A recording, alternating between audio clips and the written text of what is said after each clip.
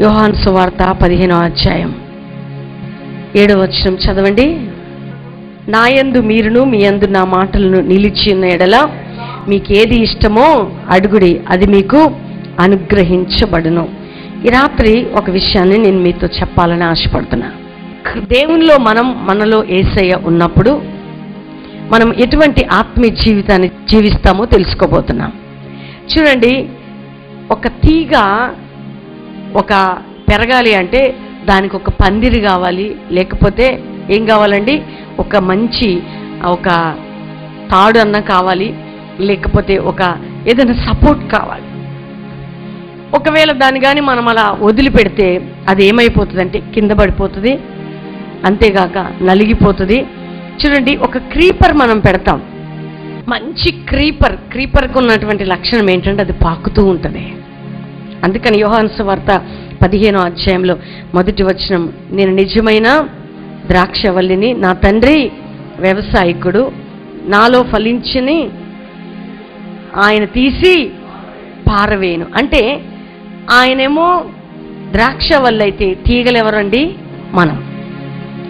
ఈ తీగ ద్రాక్ష వల్లికి సపోర్ట్ ద్రాక్ష వల్లి సపోర్ట్ తీసుకుంటేనే ఫలిస్తుందట. ఏమవుతుందంటండి అందరు చెప్పాలి? ఈ తీగ పాకుతున్న తీగ ఈ యొక్క ఎక్కుతున్న తీగకి ఈ సపోర్ట్ ఎవరంటే స్ట్రెంగ్త్ ఎవరంటే బలం ఎవరంటే ద్రాక్ష వల్లి. చూడండి ఇప్పుడు మనం సపోజ్ మన ఇంట్లో చక్కటి అందమైన ఎల్లో రెడ్ గ్రీన్ బ్లూ అట్లాంటి కలర్ మంచి మంచి క్రీపర్స్ పెట్టుకుంటాం. అవి అందంగా పాకుతున్నప్పుడు అవి చక్క చక్కగా అందంగా ఇట్లా ఫ్రెష్ ఉన్నప్పుడు మనం ఏం చేస్తుంటామంటే వాటికి సపోర్ట్ చేసి మంచి పందిరేస్తాం లేకపోతే మంచి అల్లికింద ఏదో పెడతాం లేకపోతే ఏదైనా ఇంకేదైనా పెట్టి దాన్ని ఏం చేస్తుంటామంటే పైకి పాకి అందంగా పువ్వులు పూసి చక్కగా ఉండాలని చూస్తుంటాం. అది ఏమాత్రం కింద నేల మీద పడినా కిందకి వెళ్ళిపోయిన ఎవరైనా తొక్కొచ్చు లేకపోతే దాని బలం పోవచ్చు అది పాడైపోవచ్చు. చూడండి మన జీవితంలో స్పిరిచువల్గా ఆత్మీకంగా ఫలభరితమైన జీవితం జీవించాలంటే ఆయనకి అంటుకట్టబడి ఆయన లోపట ఉన్నప్పుడే మనము ఏమవుతామంటే ఆ అల్లికలో ఏమవుతుంటాం? ఫలిస్తుంటాం. ఏసయ్యతో సహవాసం లేకుండా ఏసయ్యతో అనుబంధం లేకుండా నువ్వు పాకాలని ప్రయత్నం చేసినా నువ్వు నడవాలని ప్రయత్నం చేసినా నువ్వు నిలవాలని ప్రయత్నం చేసినా నువ్వు పడిపోతావు. ఎందుకంటే నువ్వు నడిచినా నిలిచినా పరిగెత్తినా ఏం చేసినా నీవు ఆ గొప్ప దేవునితో మంచి సహవాసం అనే సపోర్ట్ నువ్వు కలిగి ఉన్నప్పుడే క్రీస్తు కొరకు బలము కలిగి గొప్ప కార్యాలు చేయగలుగుతావు. ఈ రోజుల్లో ఏముందంటానండి ఒక్కరోజు ఇప్పుడు చూడండి నేను అప్పుడప్పుడు వెళ్ళి మా యొక్క మన చెట్లని చూస్తున్నప్పుడు ఆ తీగ కొంచెం ఇటు జరిగినా అదేమైపోతుంటుందంటే ఒకలాగా వాడిపోతుంటుంది. అప్పుడు అనిపిస్తుంది వన్ డే నీ ప్రేయర్ లైఫ్ లాస్ అయినా ఒక్క దినం నీ సావాసం దేవునితో కట్ అయిపోయినా ఒక్కరోజు ఆయనతో అంటుకట్టబడిన అనుబంధం నీ లేకపోయినా నీలో స్పిరిచువల్ ఫలింపు నువ్వు పైకి పని చేస్తుంటావు సంతోషంగా ఉంటావు అది ఇది చేస్తుంటావు కానీ నీ ఆత్మీయ స్పిరిచువాలిటీ అనేది ఏమైపోతుంటుందంటే ఒకలాంటి పందిరి లేని తీగవలే అంటే సపోర్ట్ లేని ఆ తీగలాగా ఇట్లా ఒరిగిపోతూ ఉంటుంది. అందుకని ఏసయ్యతో ఉండే సహవాసం చాలా ప్రాముఖ్యమైనదండి అందుకనే యేసుక్రీస్తు ప్రభు ఏమంటారంటే శిష్యుల గురించి ప్రార్థన చేసేటప్పుడు తండ్రి నీవు నేను ఏ విధముగా ఏకమై ఉన్నామో వీరు కూడా మనతో కలిసి ఏకమై ఉండాలని వీరి కొరకు నేను ప్రార్థన చేస్తున్నాను. ఏసయ్య తండ్రితో ఏకమై ఎలా ఉన్నాడో నీవు సహవాసంగా ఉన్న నీవట సంఘముగా ఉన్న నీవట క్రైస్తవ బిడ్డగా ఉన్న నీవు ఎవరితో అంటుకట్టబడి ఉండాలంటే ఆయనతో మనం ఏకమై ఉండాలి అంటే ఆయనతో నిత్యము కూడా మాట్లాడే అనుబంధం ఉండాలండి. చూడండి మంచి పుష్టికరమైన భోజనం చేసినప్పుడు ఆరోగ్యంగా ఉంటాం. మంచి అంటే గ్రీన్ వెజిటబుల్స్ మంచి మంచి ఫ్రూట్స్ తీసుకున్నప్పుడు మన బాడీ చాలా తేజ్గా ఆరోగ్యంగా ఉంటుంది. ఏసయ్యతో నువ్వు ఫెలోషిప్ లేదనుకో సావాసం లేదనుకో నువ్వు బిలీవర్వే నువ్వు పాటలు పాడే తలంత ఉంటుంది నీకు అభిషేకం ఉంటుంది నీకు అన్నీ ఉంటాయి. కానీ వాటిలో ఏముండదంటే ఫలింపు ఉండదు. అంటే ఫ్రూట్ ఉండదు ఫలం ఉండదు. అంటే దానికి అర్థం ఏంటంటే అన్నీ ఉన్నా నీవు వాడబడలేవు దేవుని కోసం. కొన్నిసార్లు కొంతమంది మా దగ్గరకు వచ్చి చెప్తుంటారు పాస్టర్ గారు అన్నీ ఉన్నాయి కానీ ఎందుకు దేవుడు నన్ను వాడుకోవట్లేదు? అన్నీ నీలో ఉన్నాయి కానీ అసలైంది నీలో లేదు. ఏంటంటే ఆయనతో ఉండవలసినటువంటి ఆయనతో ఉన్న సంబంధం నీకు లేదు అనుబంధం నీకు లేదు ఆత్మీయత నీకు లేదు ఆ యొక్క ఆయనతో కలిసి నడిచే అనుభవం నీకు లేదు ఆయన స్వరం వినే అనుభవం నీకు లేదు ఆయన ఇచ్చినవన్నీ నీలో ఉన్నా ఆయనవి బయటికి రావాలంటే ఆయనతో నీకేముండాలంటే అంటుకట్టబడిన అనుభవం ఉన్నప్పుడే ఆయన నీలో ఉన్నవి ఆయన నామములో వాడుకుంటాడు. కొన్నిసార్లు అంటుంటారండి అన్నీ ఉన్నాయి పాస్టర్ గారు కానీ నేను వాడబడలేకపోతున్నా. చూడండి నువ్వు ఎవరితో ఫెలోషిప్ చేయాలి ఎవరితో సహవాసం చేయాలి ఎవరితో అంటుకట్టుపడి ఉండాలంటే ఆయనతో నిత్యము కూడా అనుబంధం సహవాసం చేసే ఆ యొక్క జీవితం ఉండాలట. చూడండి అపోస్తుల కార్యం అందుకనే నేను చదివి ముందుగా మీకు వినిపించా. వారట మేడగదిలో ఎడతెక్క ప్రార్థన చేస్తున్నారట. ఇక్కడ కొంతమంది శిష్యులు అందులో కొంతమంది స్త్రీలు వారు ఎడతెక్క ప్రార్థన చేస్తున్నారు.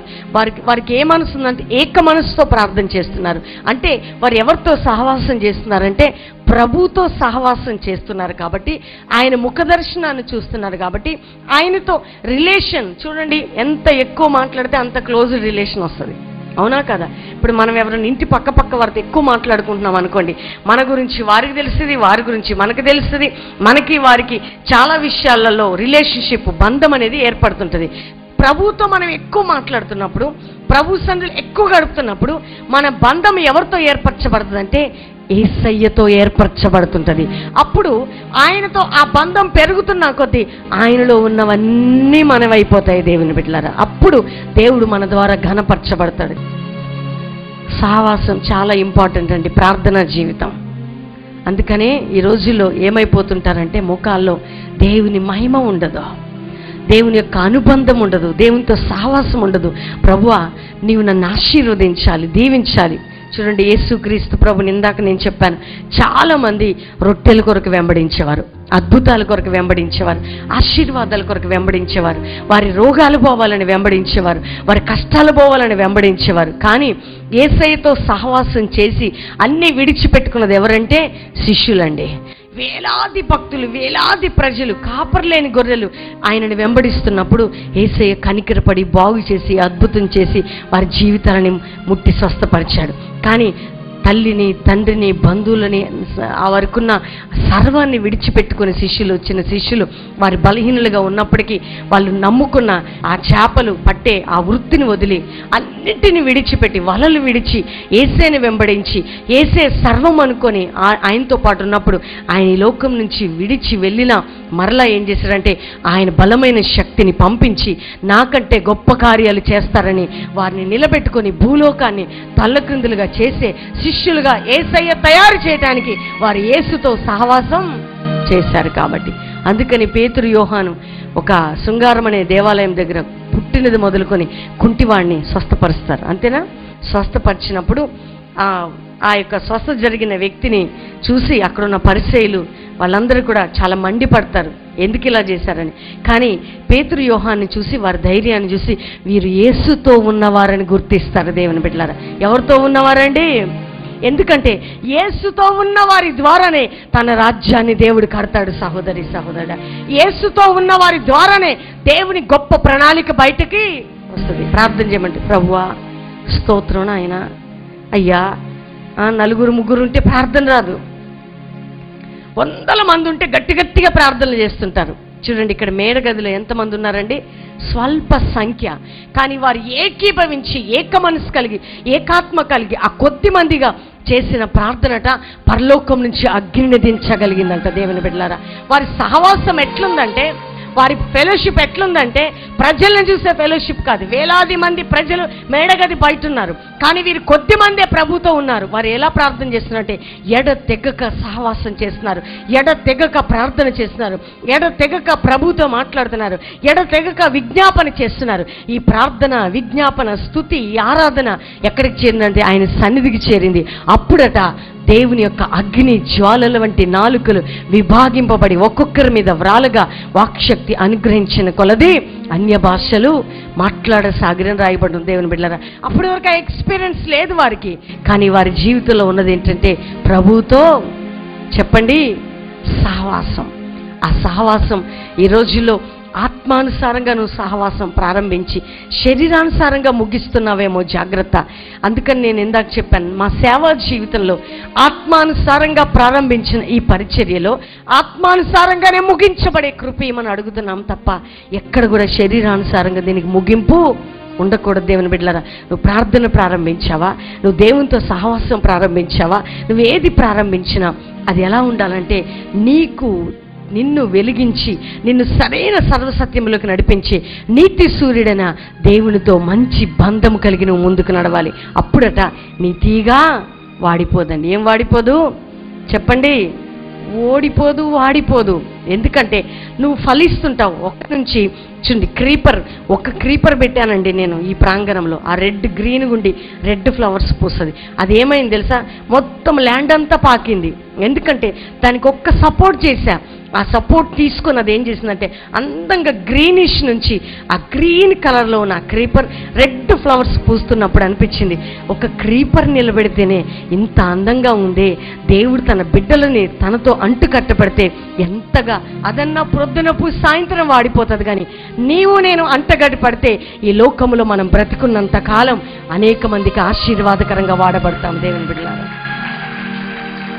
ఎక్కడుందండి? కమిట్మెంట్ ఉండదు తీర్మానం ఉండదు సరైన నిర్ణయం ఉండదు. ఈ రోజున్న ప్రార్థన జీవితం రేపు ఉండదు. ఈ రోజున్న కమిట్మెంట్ రేపు ఉండదు ఏమైపోతుందో ఈ రోజుల్లో క్రైస్తవ జీవితాల్లో అర్థం కాని సమస్య అయిపోయింది. కానీ అపోస్తుల్లో వారి జీవితంలో జరిగింది ఏంటంటే వారు ఎడతెక్క ప్రార్థన చేశారు. రొట్టె విరిచిటి ఎందును? సహవాసం అందును?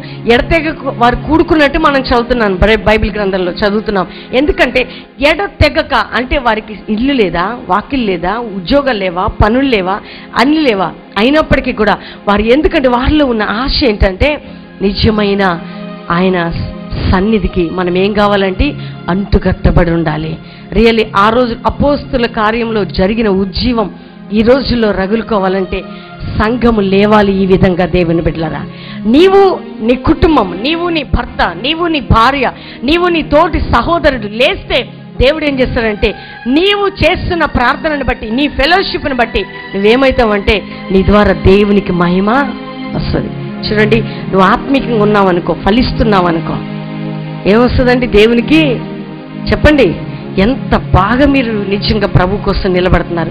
ఎన్ని పోరాటాలు వచ్చినా మీరు ఇంత స్ట్రాంగ్గా ఎలా నిలబడగలుగుతున్నారు? ఇంత దేవుని కోసం ఏ విధంగా మీరు చేయగలుగుతున్నారు? అంటే అది ఎంత మహిమండి మనకి కొంచెం రోగం వస్తేనే కొద్దిగా సమస్య వస్తేనే కొద్దిగా బాధ వస్తేనే "అయ్య, ఏం చేస్తాం పాస్టర్ గారు? మేము చేయలేమండి. ఎందుకంటే చాలా కష్టమట అంటే తీగ దేనితో ద్రాక్ష తీగ దేనితో అంటుకట్టుబడి ఉండాలండి? ద్రాక్ష వల్లితో అంతేనా? అంటుకట్టుబడి ఉన్నప్పుడే అది ఫలిస్తుంది. కొంచెం తీగ సపరేట్ అయిందనుకోండి ఫలింపు పోతుంది. ఫలింపు లేని తీగలు ఏం చేస్తారు? తీసి ఇప్పుడు చూడండి దారిలో వెళ్తున్నాం అనుకోండి. ఉదాహరణకి వ్యవసాయకుడు ఏం చేస్తాడంటే ఫలించిన తీగలను ఏం చేస్తాడు? కట్ చేసేస్తాడు కట్ చేసి తీసేస్తాడు. నీవు ఇక్కడ చర్చ్కి వచ్చావంటే సంఘానికి వచ్చావంటే మందిరానికి వచ్చావంటే ఏసే నమ్ముకున్నావంటే ఆర్థిక అభివృద్ధి అన్ని అభివృద్ధులు కాదు. నీ స్పిరిచువల్ అభివృద్ధి ఉండాలి. అంటే ఈ రోజున్న ప్రేయర్ కంటే మరుసటి రోజు చేసే ప్రార్థన ఎక్కువ ఉండాలి. ఈ రోజున్న ఫాస్టింగ్ కంటే నెక్స్ట్ డే చేసే ప్రేయర్ ఎక్కువ ఉండాలి. ప్రార్థన తగ్గాల ప్రార్థన పెరగాల? అబద్ధం చెప్తున్నారు మీరు. పెరిగిందా తరిగిందా చూడండి నువ్వు ప్రార్థన చేస్తే నువ్వు ప్రార్థన మోకరించిన తర్వాత నువ్వు బయటికి వెళ్ళేటప్పుడు ఎలా వెళ్ళాలంటే నీ ప్రార్థనకి వాగ్దానముతో బయటికి అడుగు పెట్టాలా? నువ్వు ఇక్కడ నుంచి మోకరించి టీంతో కలిసి ప్రార్థన చేస్తున్నా సహవాసంతో కలిసి ప్రార్థన చేస్తున్నా వ్యక్తిగతంగా ప్రార్థన చేస్తున్నాం నీ ప్రార్థనలో నుండి ఎలా వెళ్తావంటే జవాబుతో బయటికి వెళ్తావు ఎలా వెళ్తావు? చెప్పండి. ప్రశ్నతో బయటికి వెళ్ళవు క్వశ్చన్ మార్క్ ఉంటుందండి కొంతమంది ప్రార్థన చేస్తే. క్వశ్చన్ మార్క్ ఎందుకు ఉంటుందండి? అవునా? కాదా? అనే క్వశ్చన్ మార్క్ కానీ ఏసై దగ్గర క్వశ్చన్ మార్క్ లేదు. నా యొద్దకు వచ్చేవాడు. నేనున్నానని తనని వెతుకు వారికి ఫలము దయచేయగల దేవుడని నమ్మవలను కదా అని ఉంది. దేవుని యొద్దకు వచ్చేవాడట. వెతికేవాడట ప్రార్థించేవాడట సహవాసం చేసేవాడట. ఆయన ఉన్నాడని తనని వెతికే వారికి ఫలము దయచేయగల దేవుడని నమ్మినప్పుడు నీకు ఫలము దొరుకుతుంది. నమ్మనప్పుడు ఏం దొరుకుతుంది? గాలికి నాలుగు రాళ్ళు విసిరి ఏరా తగిలిందో చూద్దాం అన్నట్టు రాళ్ళు రాళ్ళు ఒక ఐదు రాళ్ళు విసిరినట్టుంటది. అది కాదు ప్రార్థన. ప్రార్థన అంటే ఏంటో తెలుసా? నువ్వు దేవునితో కలిసి సహవాసం చేసే అనుబంధం నీకుంటే. అందుకని నేను ఎందుకు చెప్తున్నానంటే ఒంటరిగా ఫెలోషిప్ ఉండాలి. యేసుక్రీస్తు ప్రభు అద్భుతాలు చేశాడండి. చేశాడా? సూచిక్రియలు చేశాడు. అనేక వేల మందికి గొప్ప గొప్ప కార్యాలు చేశాడు. కానీ ఒంటరిగా కొండ ఎక్కి ప్రార్థన చేసేవాడు. ఎక్కడికి వెళ్ళేవాడు? తండ్రితో సహవాసం. ఆయన దేవుడు కాదా? ఎందుకు ఆయనకు తండ్రితో సహవాసం? అంటే ఇన్ని కార్యాలు జరిగినా ఇన్ని అద్భుతాలు జరిగినా ఇన్ని గంటలు పరిచయం చేసినా ఇంతసేపు ప్రజలతో ఉన్న శిష్యులకు చెప్పే ఉపమానాలు చెప్పినా చీకటి అవుతుండగానే అట తెల్లవారక ముందే ఒంటరిగా తండ్రితో గడిపేవాడట. చీకట్లో తండ్రితో గడిపేవాడు. ఎందుకంటే ప్రార్థన శక్తి ఏంటో ఏసైకి తెలుసు దేవుని బిడ్డలారా. అందుకని శిష్యులతో అంటాడు. ఏమంటాడంటే మీరు మెలకు కలిగి ప్రార్థన చేయండి. రెండోదిగా విసుకొక ప్రార్థన చేయండి. ఇంకోటి శోధనలో ప్రవేశించుకు నిమిత్తం ప్రార్థన చేయండి. కష్టాలు వచ్చినప్పుడు పాస్టర్ గారు ఉపవాసం ఉంటామండి కష్టాలు వచ్చేసాయి. అది నీ స్వార్థం కొరకు ప్రార్థన చేస్తున్నావు కానీ నువ్వు ఎప్పుడైతే దేవునితో అంటుకట్టిపడి ఉంటావో అంటే నువ్వు ఎప్పుడు కూడా సహవాసం అనే బంధము దేవునితో నీకుంటుందో ఆటోమేటిక్గా దేవుడు ఏం చేస్తాడంటే నిన్ను ఫలించే తీగలాగా చేస్తాడా? ఏ విధంగా చేస్తాడు? చెప్పండి. నువ్వు స్పిరిచువల్గా ఫలిస్తుంటే అంటే ఆత్మీకంగా అభివృద్ధి పొందుతుంటే ఆర్థికంగా కుటుంబపరంగా ఆరోగ్యపరంగా సామాజికంగా ఉద్యోగపరంగా సేవాపరంగా అన్నిట్లో కూడా అభివృద్ధి అవుతావు. నువ్వు ఎప్పుడైతే స్పిరిట్లో ఫలిస్తూ ఉంటావో దేవుడు ఆటోమేటిక్గా అక్కడ అభివృద్ధి పరుస్తుంటాడు. ఎప్పుడైతే స్పిరిట్లో నువ్వు ఓడిపోతుంటావో పడిపోతుంటావో మిగతావన్నీ క్యాన్సర్ ఉద్యోగం కావాలని ప్రార్థన చేస్తున్నావా? గర్భఫలం కొరకు ప్రార్థన చేస్తున్నావా? లేకపోతే మరి దేనికైనా ఏమంటారు వ్యాపారం నిమిత్తం ప్రార్థన చేస్తున్నావా? దాని కొరకు దీని కొరకు ప్రార్థన చేస్తున్నావా? నాకు తెలియదు కానీ ఎందుకంటే ప్రభు అంటున్నాడు ఏమంటున్నాడంటే నీకంటూ దేవునితో అంటుకట్టబడే అనుబంధం ఉండాలండి. ఎంత మినిస్ట్రీ యాక్టివ్నెస్ నీకున్నా నువ్వెంత యాక్టివ్గా మినిస్ట్రీలో వర్క్ చేస్తున్నా నువ్వు వచ్చి గ్రూప్స్లో గంటలు గంటలు ప్రార్థన చేస్తున్నా దానికంటే ముఖ్యంగా నువ్వు ప్రభుతో సహవాసం చేసి అది చేయాలి ఇది చేయాలి. ఎందుకంటే యేసుక్రీస్తు ప్రభు ఒంటరి ప్రార్థన చేశాడు శిష్యులతో కలిసి పనిచేశాడు ప్రజలకి పరిచయం చేశాడు. నేను ఒంటరిగానే తండ్రితో ఉంటానని అన్నాడు ఆయన. పగలంతా పనిచేశాడండి రాత్రంతా ప్రార్థన చేశాడు. రాత్రంతా తండ్రితో సహవాసం చేశాడు. పగలంతా పరిచయం చేశాడు. మనం పగలంతా పని చేస్తాం. రాత్రంతా నిద్రపోతాం. అందుకని మనకి ప్రార్థన చేసుకోవడానికి ఏముండదండి? చెప్పండి. స్త్రీలు భర్తల ప్రేమల కోసం మనుషుల ప్రేమల కోసం ఎక్కువ స్త్రీ- స్త్రీ సెన్సిటివ్ కాబట్టి ఆలోచిస్తుంటుంది. పురుషులు చూడండి అందుకనే పౌలు అంటాడు ఏమంటాడండి? భర్త భార్య ఉన్నవాడట చెప్పండి లేనివాడుగానే ఉండాలట. అంటే అర్థం ఏంటి దానికి? వదిలిపెట్టి తిరగాలనే. కాదు అంటే కొన్ని సమయాలలో దేవుని స్కిచ్ ఇవ్వవలసిన సహవాసం ఫెలోషిప్ నీ ఆత్మీయత నీ ఆధ్యాత్మిక జీవితం దెబ్బపడతా ఉంటుంది. బలహీనమైన మాటలు బలహీనమైనటువంటి ఆలోచనలు ఎక్కువగా దేవుని బిడ్లారా స్త్రీలారా ఎంకరేజింగ్ ఉండాలి మీరు మీ భర్తలకే. ఫెలోషిప్ దేవునితో సహవాసం చేసే ప్రోత్సాహంగా నాకంటే ఎక్కువ నువ్వు ప్రభువుని ప్రేమించాలా? నాకంటే ఎక్కువ నువ్వు దేవునితో అనుబంధం కలిగి ఉండాలా? నాకేం తెచ్చావు? నాకు అద్దే లేదు. నన్ను చూడలేదు. నాకు అది అది చెప్పట్లేదు. నాకు ఇది చెప్పట్లేదు. లేకపోతే నువ్వే ఏమో చేసేసుకుంటున్నావు. నాకేం చెప్పట్లేదు. అనే ఆలోచన కాదు. నీకు మంచి సావాసం ఎవరితో అంటే నీ కుటుంబంలో పరలోకం ఉండాలి అంటే నీకు ప్రభుతో సంబంధం ఉండాలి. సహవాసం ఉండాలి. నీ భర్తకు కూడా ఎవరితో సహవాసం ఉండాలండి? ప్రభుతో. ఎప్పుడైతే మీరిద్దరు కూడా వ్యక్తిగతంగా కుటుంబపరంగా దేవునితో సహవాసం చేస్తుంటారో ఆటోమేటిక్గా దేవుడు మీ మీతో పాటు సహవాసం చేస్తాడు ఆయన.